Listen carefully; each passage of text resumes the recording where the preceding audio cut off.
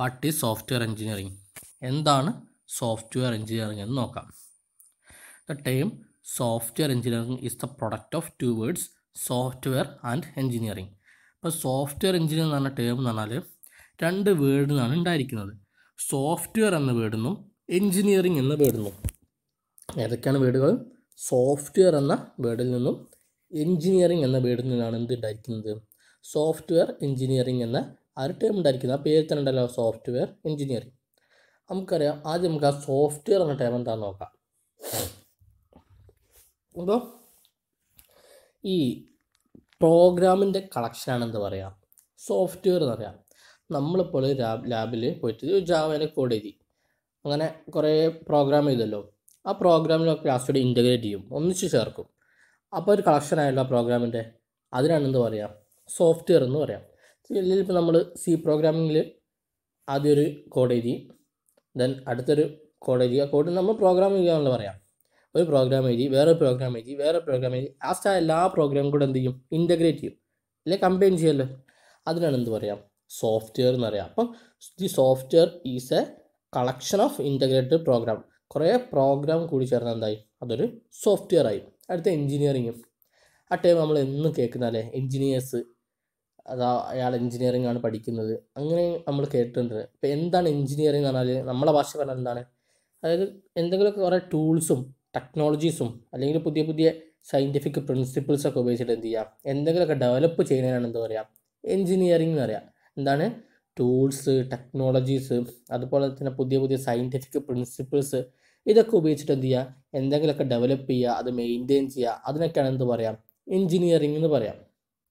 അപ്പോൾ software engineering എന്ന് എന്തായിരിക്കും? ടൂൾസും ടെക് അതായത് മോഡേൺ ടൂൾസും ടെക്നോളജീസും പ്രിൻസിപ്പിൾസും ഒക്കെ ഉപയോഗിച്ചിട്ട് എന്ത് ചെയ്യുക? സോഫ്റ്റ്വെയർ ഡെവലപ്പ് ചെയ്യുന്നതിനാണ് എന്താ പറയുക? സോഫ്റ്റ്വെയർ എഞ്ചിനീയറിംഗ് എന്ന് പറയാം ഡെവലപ്പ് ചെയ്യുക മാത്രമല്ല ഡെവലപ്പ് ചെയ്യുക. അത് മെയിന്റെയിൻ ചെയ്യുക. അതായിട്ട് ബന്ധപ്പെട്ട കാര്യങ്ങൾ അതാണെന്ത്? സോഫ്റ്റ്വെയർ എഞ്ചിനീയറിംഗ് എന്ന് പറഞ്ഞാൽ ഇപ്പം സോഫ്റ്റ്വെയർ എന്താണ്? കളക്ഷൻ ഓഫ് പ്രോഗ്രാംസ് ആണെന്ത്? സോഫ്റ്റ്വെയർ പിന്നെ എഞ്ചിനീയറിംഗ് എന്ന് എന്താ? എന്തെങ്കിലുമൊക്കെ ഡെവലപ്പ് ചെയ്യുക എങ്ങനെ? പുതിയ ടൂൾസും ടെക്നോളജീസും ഒക്കെ ഉപയോഗിച്ചിട്ട് ഡെവലപ്പ് ചെയ്യുന്നതിനാണ് എന്ത് പറയുക എഞ്ചിനീയറിംഗ് എന്ന് പറഞ്ഞ ടൈം പറയാം. അപ്പോൾ അത് കൂട്ടിച്ചേർത്താൽ സോഫ്റ്റ്വെയർ എഞ്ചിനീയറിംഗ് എന്ന് പറഞ്ഞാൽ എന്താണ്? പുതിയ പുതിയ സയന്റിഫിക് പ്രിൻസിപ്പിൾസും ടെക്നോളജീസും ഒക്കെ ഉപയോഗിച്ചിട്ട് എന്ത് ചെയ്യാണ് സോഫ്റ്റ്വെയർ ഡെവലപ്പ് ചെയ്യുന്നതിനാണ് എന്താ പറയുക സോഫ്റ്റ്വെയർ എഞ്ചിനീയറിംഗ് എന്ന് പറയാം. നമുക്ക് ഇനി ഇതിലെ സെന്റൻസ് നോക്കാം. Engineering is the application of scientific and practical knowledge to invent design build maintain and improve framework process et cetera software engineering is an engineering branch related to the evolution of software product using well defined scientific principles techniques and procedure the result of software engineering is an effective and reliable software product അപ്പം അപ്പോൾ ആ software എഞ്ചിനീയറിങ്ങിന്റെ result എന്തായിരിക്കും? ഒരു നല്ല software ആയിരിക്കും. സോഫ്റ്റ്വെയറിന് software product എന്ന് പറയാം ഒക്കെ സെയിം തന്നെ അപ്പം ഈ സോഫ്റ്റ്വെയർ എഞ്ചിനീയറിങ്ങിന്റെ റിസൾട്ട് എന്തായിരിക്കും നല്ലൊരു സോഫ്റ്റ്വെയർ പ്രൊഡക്റ്റ് ആയിരിക്കും. ഇപ്പോൾ സോഫ്റ്റ്വെയർ എഞ്ചിനീയറിംഗ് എന്താ നമ്മൾ കണ്ട്? ഇപ്പോൾ സോഫ്റ്റ്വെയർ എന്ന് എന്താണ്? കളക്ഷൻ ഓഫ് പ്രോഗ്രാംസ് ആണ് സോഫ്റ്റ്വെയർ എഞ്ചിനീയറിംഗ് ആണ് എന്താണ്? പുതിയ പുതിയ സയന്റിഫിക് പ്രിൻസിപ്പിൾസും ടൂൾസും ടെക്നിക്കൊക്കെ ഉപയോഗിച്ചിട്ട് എന്ത് ചെയ്യുക കാര്യങ്ങളെ ഡെവലപ്പ് ചെയ്യുക അതിനെ ഇൻവെന്റ് ചെയ്യുക അതിനെ മെയിന്റെയിൻ ചെയ്യുക അതൊക്കെ അതിനൊക്കെ എന്താണെന്ന് പറയുക എഞ്ചിനീയറിംഗ് എന്ന് പറയാം. പിന്നെ സോഫ്റ്റ്വെയർ എഞ്ചിനീയറിംഗ് എന്ന് പറഞ്ഞാൽ പുതിയ പുതിയ ടൂൾസും ടെക്നോളജിയും ഒക്കെ ഉപയോഗിച്ചിട്ട് സോഫ്റ്റ്വെയർ ഡെവലപ്പ് ചെയ്ത് മെയിന്റെയിൻ ചെയ്യാനാണ് എന്ന് പറയുന്നത്? സോഫ്റ്റ്വെയർ എഞ്ചിനീയറിംഗ് സോഫ്റ്റ്വെയർ എഞ്ചിനീയറിങ്ങിന്റെ പ്രൊഡക്റ്റ് എന്തായിരിക്കും? അതൊരു well defined software product software എഞ്ചിനീയറിങ്ങിന്റെ ഒരു റിസൾട്ട് എന്തായിരിക്കും? ഒരു വെൽ ഡിഫൈൻഡ് വ്യത്യസ്തതയുള്ളൊരു സോഫ്റ്റ്വെയർ പ്രൊഡക്റ്റ് ആയിരിക്കും നമുക്ക് സോഫ്റ്റ്വെയർ എഞ്ചിനീയറിങ്ങിന്റെ ഇമ്പോർട്ടൻസ് എന്താണെന്ന് നോക്കാം. നമ്മളിപ്പം ഈ സോഫ്റ്റ്വെയർ എഞ്ചിനീയറിന്റെ ഇമ്പോർട്ടൻസ് കിടക്കുമ്പോൾ നമ്മളിപ്പോൾ ഒരു വീട് പണി നടക്കാന്ന് വെച്ചോ ഒരു വീട് ഉണ്ടാക്കുകയാണ് നമ്മളെ ഒരു റിയൽ ലൈഫ് എക്സാമ്പിൾ എടുത്ത് നോക്കാം. നമ്മൾ ആദ്യം എന്ത് ചെയ്യും? നമ്മൾ നമ്മൾ തന്നെ നേരിട്ട് പോയിട്ട് പ്ലാൻ വരയ്ക്കലല്ലോ ചെയ്യാം? നമ്മൾ എന്ത് ചെയ്യും? നമ്മൾ എക്സ്പേർട്ടായ ഒരാളെ കൊണ്ടല്ല പ്ലാൻ വരപ്പിക്കുക വീടിന്റെ അതായത് ഒരു എഞ്ചിനീയറെ കൊണ്ടാണ് നമ്മൾ എന്ത് ചെയ്യുക പ്ലാൻ വരയ്ക്കുക നമ്മൾ തന്നെ പ്ലാൻ വരച്ചാൽ എന്തുണ്ടാവും? അതിൽ കുറേ ഫാൾട്ടുകൾ ഉണ്ടാവും. പിന്നെ എന്താവും കോസ്റ്റ് വളരെ കൂടിപ്പോവും. പിന്നെ ഡിസൈൻ എന്ന് വിചാരിച്ചാൽ ആ ഡിസൈന് കുറേ കുറേ പോരായ്മകൾ ഉണ്ടാവും. പിന്നെ നമ്മളെ തന്നെ പ്ലാൻ വരയ്ക്കാൻ എന്താ? നമുക്കിപ്പോൾ സമയം കൊണ്ട് ഇപ്പോൾ ആറ് മാസം കൊണ്ട് തീർക്കേണ്ട വീട് ചിലപ്പോൾ എന്ത് ചെയ്യും? നമ്മൾ പ്ലാൻ വരച്ചാൽ എന്ത് ചെയ്യും? അത് ചിലപ്പം ഒരു കൊല്ലത്തിലേക്ക് മേലേക്ക് പോവാം. അങ്ങനെ ഒരു എക്സ്പേർട്ടായ ഒരാളെ കൊണ്ട് ഏൽപ്പിച്ചിട്ടില്ലെങ്കിൽ നമുക്ക് ഇന്നെ ഫാൾട്ടുകൾ നമുക്ക് വരാം. അപ്പോൾ അതൊക്കെ അവോയ്ഡ് ചെയ്യാനാണ് എന്ത് ചെയ്യുക നമ്മൾ എക്സ്പേർട്ടായ ഒരു എഞ്ചിനീയറെ തന്നെ ഏൽപ്പിക്കുന്നത്. നമ്മളിപ്പോൾ പ്ലാൻ വരയ്ക്കാനൊക്കെ നേരെ കൊണ്ടുവരും എഞ്ചിനീയറാണ് ഏൽപ്പിക്കുക. അവരാണ് എന്ത് ചെയ്യുക എല്ലാ കാര്യങ്ങളും പിന്നെ കോർഡിനേറ്റ് ചെയ്യുക. അതുപോലെ തന്നെ ഒരു സോഫ്റ്റ്വെയർ ഉണ്ടാക്കാനും നമ്മൾ നമ്മൾ വെറുതെ ഗൂഗിളിൽ കയറിയിട്ട് കോഡ് എടുത്തിട്ട് ഉണ്ടാക്കുകയല്ല ചെയ്യുക നമ്മൾ എന്ത് ചെയ്യാണ്? സോഫ്റ്റ്വെയർ എഞ്ചിനീയേഴ്സിനെ നമ്മൾ ഏൽപ്പിക്കുക ചെയ്യുക അതായത് ഐ ടി കമ്പനിക്ക് എന്ത് ചെയ്യുക നേരെ ഓർഡർ കൊടുക്കുക ചെയ്യുക അപ്പോൾ നമ്മൾ ഓർഡർ കൊടുക്കുന്നത് നമ്മളെ എന്താ വിളിക്കും? നമ്മളായിരിക്കും ക്ലയന്റ് അല്ലെങ്കിൽ കസ്റ്റമർ എന്നാൽ ഐ ടി ഫീൽഡിൽ അത് ഡെവലപ്പ് ചെയ്യുന്നവരെ ഡെവലപ്പേഴ്സ് ടെസ്റ്റേഴ്സ് എന്നൊക്കെ വിളിക്കും. ഇപ്പോൾ രണ്ട് ടേം ഉണ്ട്. ഇനി വരുന്ന ടോപ്പിക്കിലൊക്കെ ക്ലയന്റ് കസ്റ്റമർ അതുപോലെ തന്നെ ഡെവലപ്പർ ഈ ഒരു ടേം നിങ്ങൾക്ക് കേൾക്കാം. ഡെവലപ്പർ എന്താണ് ആ സോഫ്റ്റ്വെയർ ആരാണോ ഡെവലപ്പ് ചെയ്യുന്നത്? അവരാണ് എന്ത് ചെയ്യുക? ഡെവലപ്പർ എന്ന് പറയാം. നമ്മളൊരു ഐ ടി കമ്പനി പോയി കഴിഞ്ഞാൽ അവിടെ ഇരിക്കുന്ന എല്ലാവരും എന്തായിരിക്കും സോഫ്റ്റ്വെയർ ഡെവലപ്പേഴ്സ് ആയിരിക്കും. ഈ ഡെവലപ്പേഴ്സിനെയും ടെസ്റ്റേഴ്സിനെയും അതുപോലെ തന്നെ ഈ അതായിട്ട് ബന്ധപ്പെട്ട എല്ലാവരെയും നമ്മൾ എന്താ സോഫ്റ്റ്വെയർ എഞ്ചിനീയേഴ്സ് വിളിക്കുക. ഇതൊരു ജനറലായ ടൈം ആട്ടോ. നമ്മൾ ടോപ്പിക്കുള്ളതല്ല ജനറലായിട്ടുള്ളൊരു കാര്യമാണ് പറയുന്നത്. പിന്നെ വെച്ചാൽ നമ്മളിപ്പോൾ ഒരു സാധനം വാങ്ങാൻ ചെന്ന് അതായത് നമ്മൾ എന്തായിരിക്കും നമ്മളായിരിക്കും കസ്റ്റമേഴ്സ് അല്ലെങ്കിൽ ക്ലയന്റ് ആ പ്രൊഡക്റ്റ് വാങ്ങുന്ന കസ്റ്റമേഴ്സ് അല്ലെങ്കിൽ ക്ലയന്റ് ആയിരിക്കും എന്ത്? പിന്നെ പുറമേയുള്ള ആൾക്കാർ. ഇപ്പോൾ നമ്മളെ കോളേജിന് വേണ്ടി ഒരു വെബ്സൈറ്റ് ഉണ്ടാക്കണമെങ്കിൽ നമ്മളെ കോളേജ് എന്തായിരിക്കും? നമ്മളെ കോളേജാണ് എന്ത്? ക്ലയന്റ് അല്ലെങ്കിൽ കസ്റ്റമർ അത് ഉണ്ടാക്കുന്ന ആളായിരിക്കും എന്ത്? ഡെവലപ്പർ നമുക്ക് സോഫ്റ്റ്വെയർ എഞ്ചിനീയറിങ്ങിന്റെ ഇമ്പോർട്ടൻസ് എന്താണെന്ന് നോക്കാം. ഫസ്റ്റ് വൺ എന്ത്?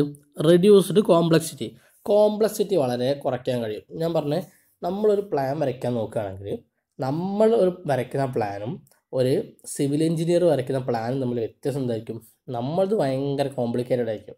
അവരത് എന്തായിരിക്കും? കോംപ്ലക്സിറ്റി എല്ലാം കുറഞ്ഞു. അവർ പറഞ്ഞാൽ കുറേ എക്സ്പേർട്ട് ആയിരിക്കും. അപ്പം അവർക്കറിയാം ഇന്ന ജനൽ ഇവിടെയാണ് വെക്കേണ്ടത് അല്ലെ ഇന്ന വാതിൽ ഇവിടെയാണ് വെക്കേണ്ടത് അല്ലെ ഇന്ന ഒരു ഫ്ലോർ ഇവിടെ കൊടുക്കണം അല്ലെ ഇന്ന ഇവിടെ ഇവിടെയാണ് എന്റെ കിച്ചൺ കൊടുക്കേണ്ടത്. അങ്ങനെ ഒരു ഒരു മോഡൽ അവർക്ക് ഉണ്ടാവും അപ്പോൾ എന്താണ്? അതിന്റെ ആ ഒരു കോംപ്ലക്സിറ്റി അവർക്ക് എന്ത് ചെയ്യാൻ പറ്റും? കുറയ്ക്കാൻ പറ്റും. അപ്പോൾ നമ്മൾ പ്ലാൻ വരയ്ക്കുമ്പോൾ എന്താ? കോംപ്ലക്സിറ്റി വളരെ കൂടിപ്പോവും. അപ്പോൾ അതുകൊണ്ടാണ് എന്ത് ഒരു എഞ്ചിനീയറെ തന്നെ അത് ഏൽപ്പിക്കണം എന്ന് പറയുന്നത്. രണ്ടാമത്തെ മിനിമൈസ് സോഫ്റ്റ്വെയർ കോസ്റ്റ് പിന്നെ എന്ത് ചെയ്യാൻ പറ്റും? ഒരു എക്സ്പേർട്ട് ആയ ഒരാളുടെ അടുത്ത് കൊടുക്കുമ്പോൾ എന്ത് ചെയ്യാണ്? നമുക്ക് അതിന്റെ കോസ്റ്റ് വളരെ കുറച്ച് ഉണ്ടാക്കാൻ പറ്റും. അവർക്കറിയാം എന്തൊക്കെ ചെയ്താലാണ് എന്ത്?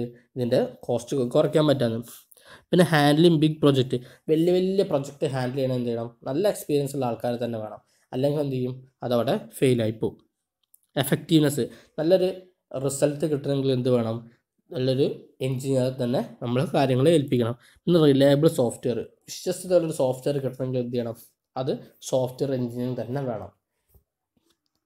പിന്നെന്താണ് ഡിക്രീസ് ടൈം നമുക്ക് എന്ത് ചെയ്യാൻ പറ്റും? ഒരു എഞ്ചിനീയർക്ക് കൊടുത്താൽ എന്ത് ചെയ്യാം? നമുക്കതിന്റെ ടൈം വളരെ കുറയ്ക്കാൻ പറ്റും. അപ്പോൾ ഇതൊക്കെയാണ് എന്ത്? സോഫ്റ്റ്വെയർ എഞ്ചിനീയറിന്റെ ഇമ്പോർട്ടൻസ് ഫസ്റ്റ് വേണം എന്താണ്? കോംപ്ലക്സിറ്റി നമുക്ക് നന്നായി കുറയ്ക്കാൻ പറ്റും. പിന്നെ സോഫ്റ്റ്വെയർ കോസ്റ്റ് വളരെ കുറയ്ക്കാൻ പറ്റും. പിന്നെ വലിയ വലിയ പ്രൊജക്റ്റൊക്കെ ഹാൻഡിൽ ചെയ്യണമെങ്കിൽ എന്ത് ചെയ്യണം? നല്ല എക്സ്പേർട്ടുള്ള എക്സ്പീരിയൻസ് ഉള്ള ആൾക്കാരുടെ അടുത്ത് മാത്രമേ കൊടുത്താൽ പറ്റുന്ന മാത്രമേ എന്ത് ചെയ്യാൻ പറ്റുള്ളൂ? അത് ഹാൻഡിൽ ചെയ്യാൻ പറ്റുള്ളൂ. പിന്നെ ഒരു എഫക്റ്റീവായ സോഫ്റ്റ്വെയർ കിട്ടണമെങ്കിൽ എന്ത് ചെയ്യണം? സോഫ്റ്റ്വെയർ എഞ്ചിനീയറിംഗ് തന്നെ വേണം. പിന്നെ നമുക്ക് വിശ്വസ്തതയുള്ള ഒരു സോഫ്റ്റ്വെയർ കിട്ടണമെങ്കിൽ എന്ത് ചെയ്യണം? നമ്മളൊരു സോഫ്റ്റ്വെയർ എഞ്ചിനീയറിംഗ് രീതിയിലുള്ളൊരു ഫോളോ ചെയ്യുന്നൊരു പ്രൊഫഷന്റെ അടുത്ത് മാത്രമേ നമുക്ക് എന്ത് ചെയ്യാൻ കിട്ടുള്ളൂ? നമുക്ക് റിലയബിൾ സോഫ്റ്റ്വെയർ കിട്ടാൻ പറ്റുള്ളൂ.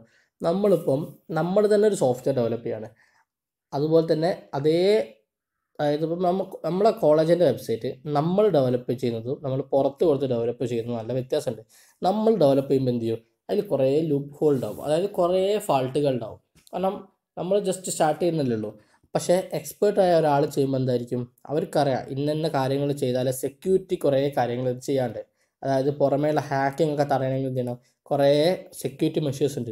അതൊക്കെ ചെയ്താലേ എന്താവുള്ളൂ ഒരു സോഫ്റ്റ്വെയർ ഒരു വിശ്വസ്തതയുടെ സോഫ്റ്റ്വെയർ ആവുള്ളൂ. നമ്മൾ ഡെവലപ്പ് ചെയ്താൽ എന്താവും? അത് ഇടയ്ക്ക് ചിലപ്പോൾ എന്താവും? അത് കട്ടാവും അങ്ങനത്തെ കുറേ പ്രശ്നങ്ങളുണ്ട്.